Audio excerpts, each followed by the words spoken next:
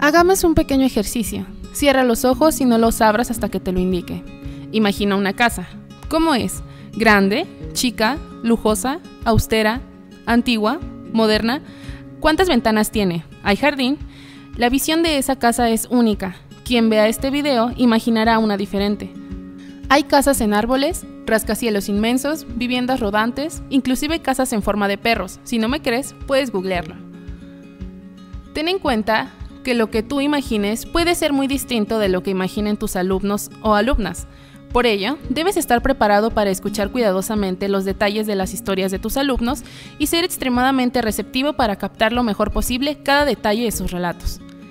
Cuando te platiquen sobre el espacio de sus historias, deberás auxiliarte de preguntas que te ayuden a comprender con precisión en qué lugares piensan. Tu alumno podrá describir el espacio de dos maneras distintas. Las preguntas que hagan deben formularse de acuerdo con su contestación. La primera sería mencionar un espacio genérico. Es en un bosque. Es en un castillo. Es en un salón de clases. En este caso, debes realizar preguntas que te ayuden a describir el lugar al que se refiere el niño. Si te dijo que era en un bosque, puedes preguntarle qué clase de animales lo habitan, si el clima es frío o cálido, si es de día o de noche, etc. Es en un bosque helado habitado por dragones y ogros que salen en las noches.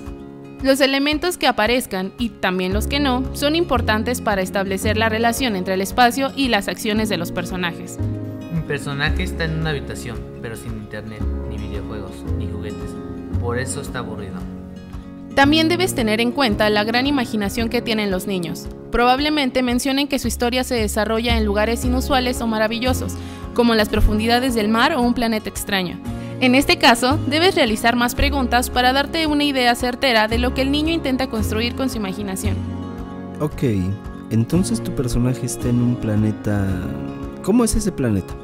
¿Existen criaturas desconocidas? ¿Tu personaje lleva un traje espacial? ¿Se siente asustado o emocionado? La segunda posibilidad sería que el niño describa objetos, personajes, colores, olores, emociones, elementos sueltos que tú deberás unificar en un lugar más genérico huele a chocolate. Me gusta el chocolate. ¿Quieres chocolate?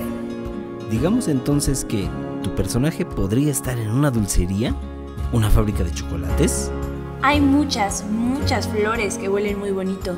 En el jardín de mi abuelita hay muchas flores.